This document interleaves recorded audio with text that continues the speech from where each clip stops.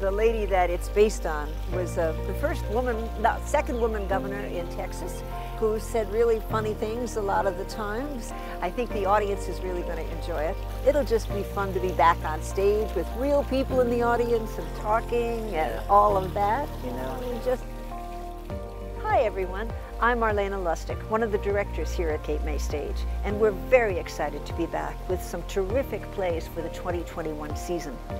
I'm directing Ann, which is a funny portrait of the legendary Texas Governor Ann Richards, starring Kate Macaulay Hathaway.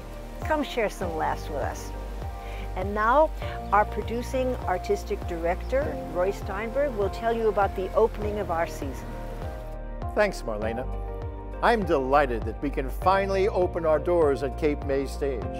There's nothing quite like the live theater, where groups of people in the same moment laugh or cry, or my favorite, sit in rapt silence hanging on every word. There's a kind of electricity in the air. And to ensure that that air is as safe as it can be, Cape May Stage has gone to extraordinary lengths. We brought in teams of experts in HVAC to talk to us about air filters and air purifiers. We have an outdoor box office as well as an indoor one that's covered in plexiglass now. In fact, at the box office, we have hand sanitizers provided by Cape Cleanse. In fact, even Actors Equity has, has mandated that we have a COVID safety officer to ensure the safety of our actors. Now, things are changing all the time.